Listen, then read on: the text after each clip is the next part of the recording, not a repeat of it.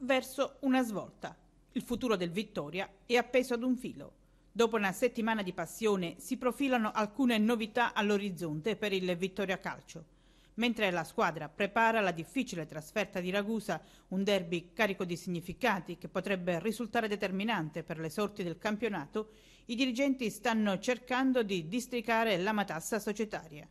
La frattura tra il gruppo catanese guidato da Di Paola e Mascara è ormai insanabile.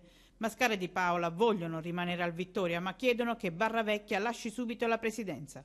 Quest'ultimo sostiene di avere già lasciato la presidenza tre settimane fa. Ovviamente si tratta ora di mettere nero su bianco e soprattutto di dirimere la querella economica su cui non c'è affatto accordo.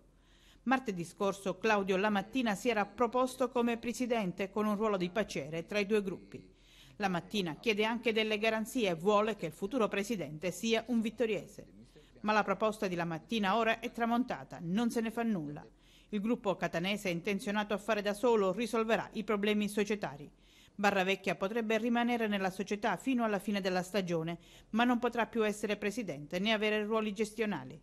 Di Paola annuncia che se la gestione del Vittoria rimarrà a loro, arriverà un attaccante di categoria, un giocatore che potrà far fare il salto di qualità.